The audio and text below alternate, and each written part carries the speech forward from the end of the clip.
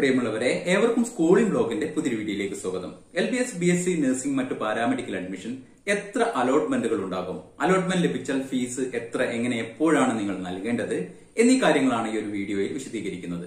Rank list പ്രസിദ്ധീകരിച്ചു കഴിഞ്ഞാൽ option നൽകാൻ നിങ്ങൾക്ക് മൂന്നോ നാലോ അഞ്ചോ ദിവസങ്ങൾ അനുവദിക്കുന്നതായിരിക്കും. ഒരു കോളേജിൽ ആകെ റിസർവേഷൻ ഒന്നും പരിഗണിക്കാതെ മാർക്ക് മാത്രം പരിഗണിച്ചുകൊണ്ട് നൽകുന്ന സ്റ്റേറ്റ് മെറിറ്റ് സീറ്റ് ഇരുപത് എണ്ണം ആണ് ഉള്ളത് എന്ന് കരുതുക. അവിടേക്ക് മൊത്തം ഓപ്ഷൻ നൽകിയവരിൽ എല്ലാവരുടെയും ടൈ ബ്രേക്കിംഗ് കാര്യങ്ങളൊക്കെ പരിഗണിച്ചുകൊണ്ട് ഏറ്റവും കൂടുതൽ ഉയർന്ന ഇൻഡെക്സ് ഉള്ള ഇരുപത് പേർക്കാണ് അവിടേക്ക് അഡ്മിഷൻ ലഭിക്കുക. ഇനി അവിടെ ഏതെങ്കിലും റിസർവേഷൻ വിഭാഗത്തിലുള്ള സീറ്റുകൾ ഉണ്ട് എങ്കിൽ ഇരുപത് സ്റ്റേറ്റ് മെറിറ്റ് അഡ്മിഷൻ കഴിഞ്ഞു. അതിന്റെ താഴെ റാങ്ക് വരുന്ന ആ റിസർവേഷൻ വിഭാഗത്തിൽ ഏറ്റവും ഉയർന്ന റാങ്ക് ഉള്ളവർക്കാണ് ആ സീറ്റുകൾ ലഭിക്കുക. ആദ്യം വരുന്നത് ട്രയൽ അലോട്ട്മെന്റ് ആയിരിക്കും. അത് പ്രകാരം നിങ്ങൾക്കുള്ള അഡ്മിഷൻ സാധ്യത മനസ്സിലാക്കാൻ വേണ്ടി സാധിക്കും. അത് പ്രകാരം അഡ്മിഷൻ ലഭിക്കുന്നതല്ല. ആ സമയത്ത് നിങ്ങൾ നൽകിയിരിക്കുന്ന ഓപ്ഷനിൽ ഏത് തരം മാറ്റങ്ങളും നിങ്ങൾക്ക് വരുത്താൻ വേണ്ടി സാധിക്കുന്നതാണ്.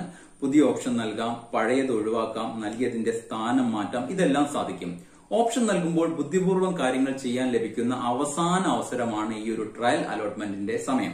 പിന്നെ ഫസ്റ്റ് അലോട്ട്മെന്റ് വരുന്നതാണ്. അലോട്ട്മെന്റ് ലഭിച്ചവർ നിർബന്ധമായും ഫീ പേയ്മെന്റ് ഓൺലൈൻ വഴി അല്ലെങ്കിൽ ചലാൻ മുഖേന നടത്തണം. അല്ലാത്ത പക്ഷം അലോട്ട്മെന്റ് സിസ്റ്റത്തിൽ നിന്ന് നിങ്ങൾ പുറത്തായി പോകുന്നതായിരിക്കും. നിങ്ങൾക്ക് ലഭിച്ച സീറ്റ് നഷ്ടപ്പെടും. അടുത്ത അലോട്ട്മെന്റിലേക്ക് പരിഗണിക്കുകയുമില്ല.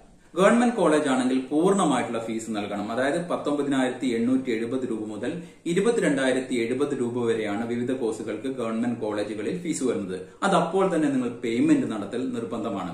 സെൽഫ് ഫിനാൻസ് കോളേജ് ആണെങ്കിൽ ഇരുപത്തി അയ്യായിരം രൂപയാണ് നിങ്ങൾ പേയ്മെന്റ് നടത്തേണ്ടത്.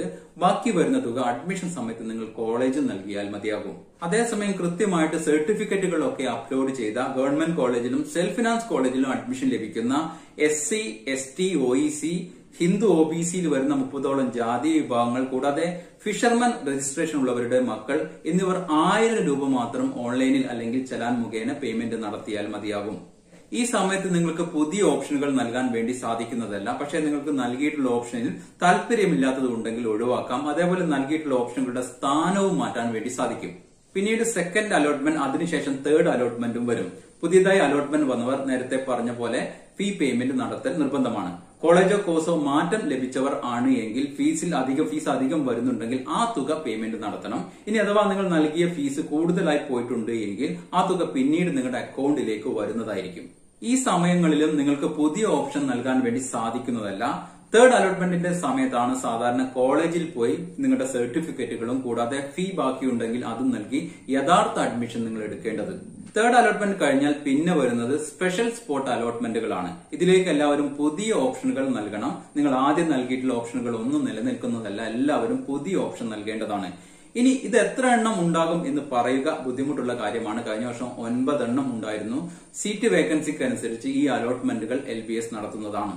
നമ്മൾ തുടക്കത്തിൽ സൂചിപ്പിച്ച കാര്യങ്ങൾ വളരെ ചുരുക്കി ലളിതമായിട്ടാണ് ഇവിടെ പറഞ്ഞത്. വളരെ വിശദമായിട്ടുള്ള ഡീറ്റെയിൽഡ് വീഡിയോകൾ ഓരോ ഘട്ടങ്ങളിലും ചാനൽ വഴി അപ്ഡേറ്റ് ചെയ്യുന്നതാണ്.